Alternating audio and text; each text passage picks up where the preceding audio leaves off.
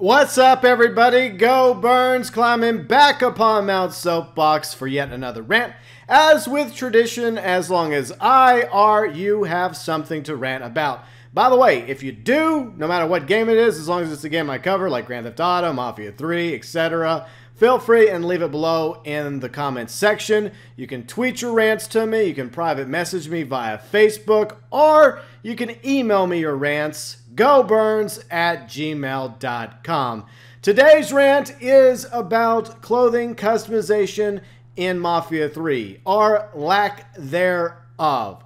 Now, as some of you may have found out in my recap video of Mafia 3 at E3 on Friday, at the very end I mentioned something about how in one of the Q&As, the uh, developer at Hangar 13, Andy Wilson, well, one of the developers stated this. Well, obviously they're all kind of uh, period accurate, so authenticity extends all the way throughout the game, and that, that includes kind of the way the characters dressed as well. In terms of Lincoln himself, um, he kind of costume changes a few times during the during the game, although we don't have um, customization, at least not right now. Um, the uh, the point of having Lincoln in these different costumes is, you know, we have this curated narrative, and there are some specific reasons why we want him to sort of look different throughout the game. And some of it's about, you know, sneaking into places and kind of blending in, and some of it's just about the, the, the point in time that we're seeing him in this story. Obviously, that didn't go over so well with some people in the Mafia 3 community. Now, not everybody has a problem with this, and I just want to say something. It's not at the end of the day a big deal, but at the same time, it is a big deal because a lot of us Mafia fans were assuming that we would have clothing customization options in Mafia 3 because we did in Mafia 2 for Vito.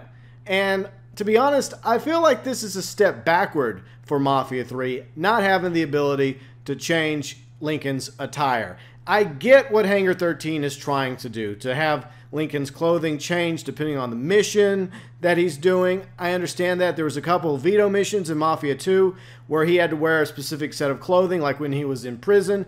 Obviously, he had to wear prison garbs. Whenever he was posing as a janitor, him and Joe had to wear janitor clothing. So I understand that. But for the rest of the game, Vito could wear almost whatever you wanted him to wear, with a few exceptions.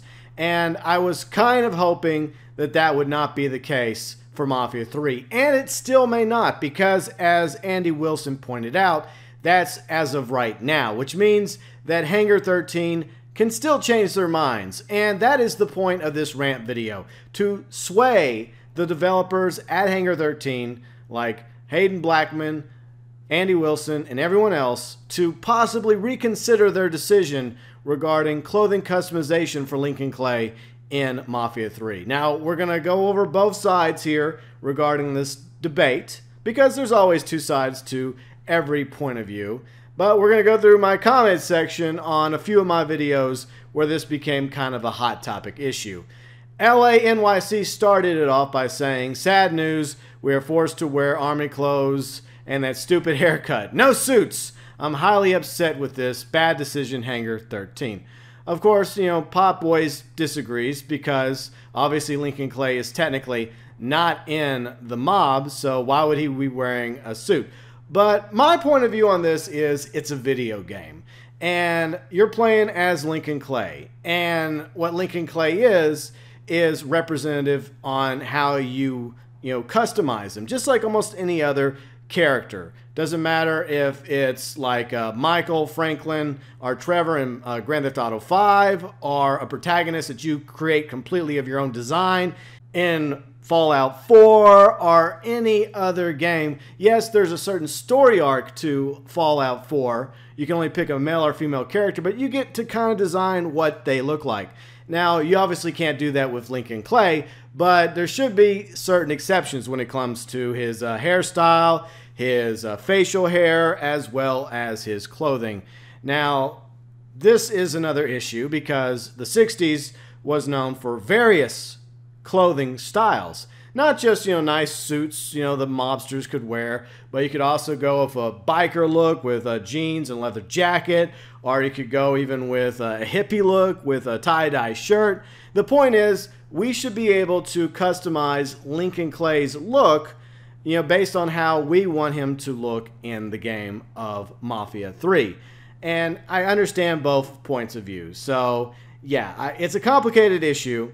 And I, I stand on the side with everybody that doesn't like the fact that Lincoln Clay is not going to be customizable because, like I mentioned, Vito was customizable to a certain degree clothing wise in Mafia 2. So here's what Vachon said I'm really hoping that they put customization of clothing in this game because it's really important for me to experience the 60s and the 1960s It had the most outlandish, awesome clothing. And I want to wear whatever I want for Lincoln and not make him look generic army fatigue, which looks cool, but Vachon wants to experience the clothing more. So Hangar 13, I hope you are going to eventually get a hold of this video and read some of these comments from some of the subscribers. Now realize Pop Boys doesn't feel the same way. He doesn't have a problem with lack of clothing customization, and a certain percentage of the community won't have an issue with it. I mean, as long as the story is good, as long as the gameplay is awesome, you know, that's a side issue to them. But to a lot of other gamers out there, the clothing and facial and hair customization is an issue because we like to customize our characters to obviously various degrees. And of course, continuing, let's see, uh, Noe. He said, I'll be really fucking disappointed. We better be able to customize his hair and clothes. Hey man, where'd you see this? Okay, yeah, I already, yeah, I told him in the in the uh, comment section, like where, because I mean, I didn't want people to think that I was making this up, so that's why I included at the beginning of the rant video, that interview done with Andy Wilson, developer over at Hangar 13. So the final comment we're going to go over today comes from CJ Ware. I'm a little disappointed we can't customize, but there's probably some dope outfits they haven't shown us yet from later on in the game. I think a good ending version would be Clay, you know, bald with a large beard, scars, and of course giving him a grizzled and crazy look, you know, the perfect black mob boss. So, yeah, a lot of people, I think, really were coming into Mafia 3, including myself, assuming, you know, from what, you know, happened in Mafia 2, the ability to customize Lincoln Clay. Now, I understand Hangar 13's point of view. Like I mentioned, I get that they want to give Lincoln Clay a certain look, a certain style throughout the story. And yes, it will change because we've seen different looks where he has the army fatigues on. We've seen a look where he just has on like a, a regular t-shirt and jeans. We've also seen some other variations of Lincoln Clay's look throughout Mafia 3. And either way, I understand the creative decision made by Hangar 13. Because in the end, if they start having to change every little thing that we complain about, then it would take them forever to finish the game. But at the same time, this isn't uh, gasoline not being included in vehicles in Mafia 3 as opposed to the first two Mafia games. A lot of people don't really have a problem with that because that was kind of sort of a headache for a lot of people driving around Lost Heaven or Empire Bay. All of a sudden, they're out of gas, they're screwed.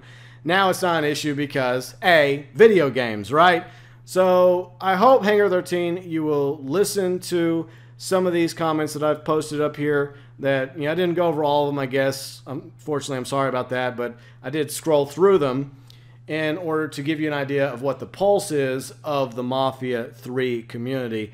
But at the end of the day the decision is entirely yours Hangar 13 and I don't know if you have enough time between now and October when the game launches on October 7th for Xbox One, PlayStation 4, and PC to make this kind of change to allow Lincoln Clay to have clothing customization because feasibility, you may not have that ability. You may not have that means to do so with the little bit amount of time you have left to uh, finish up the game. So I completely understand that, Hangar 13. But if you do still have time, and if enough of the community are, you know, considering this to be some sort of issue regarding Lincoln Clay and the lack of clothing or facial hair customization, I think it needs to be addressed because that is another way, as I mentioned already, that players relate to their protagonist.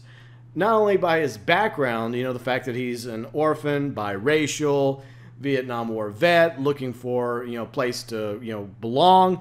And that can be said about a lot of the gaming community out there, whether you are an orphan or biracial or uh, a war vet from, you know, Iraq or Afghanistan, etc a lot of those themes tie into the majority of the community out there where we're all looking for a place that we belong. That in some way we all feel like we're kind of like isolated or alienated from the rest of society.